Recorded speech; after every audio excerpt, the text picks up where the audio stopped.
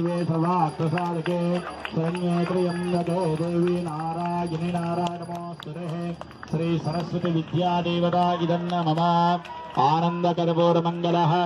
नीराञ्जनदीपं दर्शयामि। मुखे शुद्धः आचमनीयं समर्पिता